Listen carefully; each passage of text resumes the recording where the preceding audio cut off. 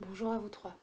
Le lanceur russe qui devait nous envoyer une capsule de ravitaillement alimentaire s'est craché à son lancement.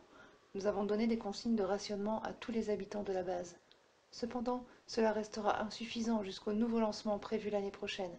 Il nous faut absolument trouver des solutions pour produire notre propre nourriture en complément. Il nous reste quelques pommes de terre, des graines de carottes et de diverses autres variétés végétales dans le laboratoire d'agronomie. Votre mission est de proposer, expérimenter des solutions qui nous permettront de produire en quantité suffisante et dans quelques mois les légumes dont dépendront notre survie. Au nom de toute la base, merci d'avance.